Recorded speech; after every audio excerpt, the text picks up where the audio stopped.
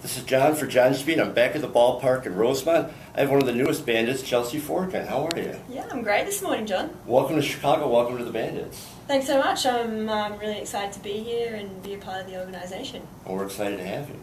Can you tell us a little bit about your softball path? I know that you, you didn't start playing softball actually until you were about 16. Yeah, I was a bit of a late bloomer. Um, I grew up playing baseball um, and sort of just played from when I was about six years old up until uh, I was about 15 with the boys and um, just transitioned across to softball and had an opportunity to, to play um, some ball. I was going to say, you didn't just play with the boys, you were one of the best.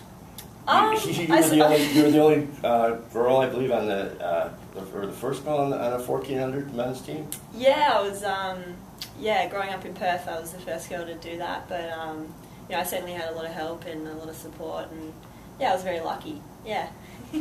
So, and, and you, you, you were part of uh, two national titles in, or three national titles in Australia. Yeah, all with um, the West Australian team. Yep, um, and also with one with um, Queensland Heat. Um, so two separate teams, but um, yeah, it was uh, probably some of the the fondest memories I have of playing softball. And then last year you came over, you, you played here in the NPF. Yep. What type of differences were there, did you notice, or what kind of challenges between the Australian, playing in Australia and playing here?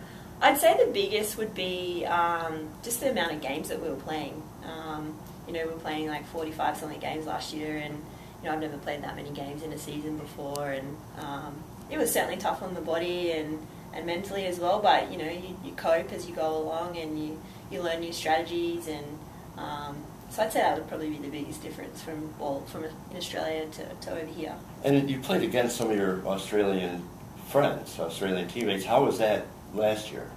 I mean, it was definitely, um, you know, it was definitely funny, um, you know, what, looking, looking across the diamond and seeing, um, you know, people like Taylor and, and Stacey Porter on the opposition team. But, um, you know, we're great friends off the field as well, so it was, it was great. It was awesome to see them um, play as well in the league. So then this year, now you're playing with the bunch. Yeah, So how cool is that then? um, very cool, very cool. Um, you know, it's just like old times, you know. Um, get to play together again and in a new environment, so, um, you know, there's lots to look forward to. And are you are you trying to make the Olympic team in, in 2020? Is that part of your goal? I'd say so. Yeah, um, that's definitely always been a, a, you know my major goal. Um, next year uh, we have our world championships, so that's probably you know we've got to qualify first. So that's the the main thing that I'm really thinking about for the team. But um, you know, long term it would definitely be to play in Tokyo at the games. Awesome. Well, we, we welcome you into Chicago. We wish you luck with that and this season. Let's let's win a title this season first, and then we'll go for the rest. Yeah, three feet, right? Three P, right? Exactly. Yeah. Thank you very much for your time. We appreciate it and good luck. Thanks, John. Thanks. Cheers.